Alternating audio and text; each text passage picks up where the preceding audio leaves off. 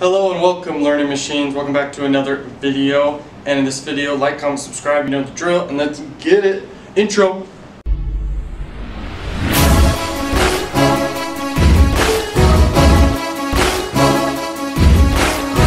Alright guys, um, here are the top 10 tips for making money online.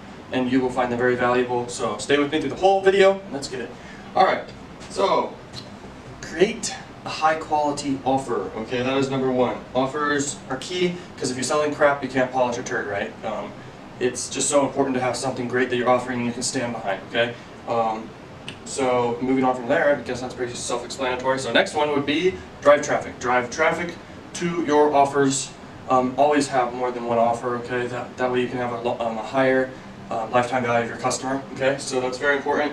There's many ways to drive traffic. Paid traffic is the best. Free traffic is a long-term strategy. If you do them both together, that's super, super powerful. Okay. Um, next, make sure you're collecting leads. This is number three. Collect leads. All right, so you can follow up with them on new stuff because the one, the highest percentage, um, the highest conversion rate is when you sell new stuff to the same people who already know, like, trust you. Okay, that's huge. Um, so build your email list, messenger list, Facebook group, uh, following of any kind. All right, and that's huge. Next, omnipresence. Um, by the way, all these tips are my tips.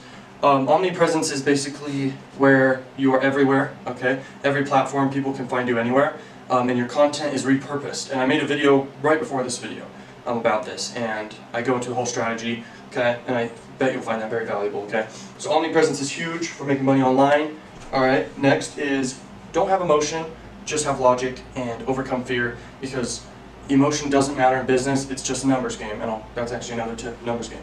But um, literally, just kill all emotions you have, and if it doesn't work, don't be emotional and like like you're in love with it, like it's your. Don't treat it like your baby. If it doesn't work, it doesn't work. Move on to the next thing, basically. All right, it's all a numbers game. That was the next tip. So basically, you know how if you've ever done a garage sale and people come some people buy, some people don't. It's the same thing online. You just send traffic, a certain percentage will always convert, and a, higher percentage will convert if you do split tests and figure out what helps better convert them. Or if you just have a great no-brainer offer, your conversions are through the roof, okay? So it's just a numbers game. You want to make sure your numbers are profitable, and that's really it.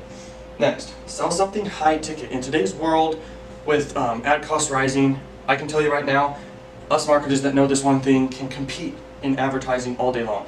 That's why um, it's the social media marketing agency business, these businesses are willing to pay so much because they actually all sell high ticket services or products or whatever they're selling. It's high ticket. Um, and if you want to compete in this online industry, you need to have something in your back end that's high ticket, okay? Super, super important.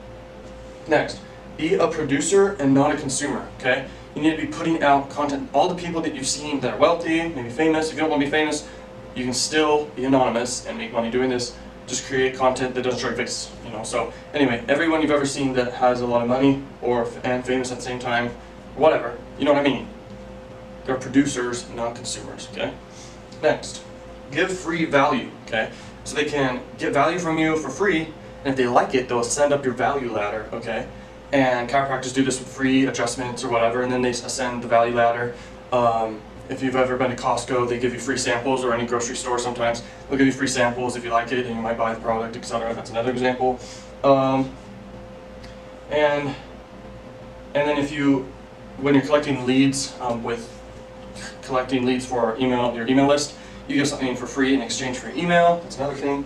All right, next and the final tip is have a system you follow for your business model that gets the traffic, leads, and sales. So every business model may seem the same, but everyone has their own strategy of getting their sales. Okay, in dropshipping, you can straight up do Snapchat, Snapchat ads, YouTube ads, etc. YouTube ads rock, by the way. They're like the biggest secret, I guess, in online ads. Also, display ads, um, influencers. These are all different angles to get that traffic. And then you're obviously going to collect a lead when you make sale in dropshipping. But those are just, just some ideas for dropshipping. But you gotta have a system, and that's really that tip.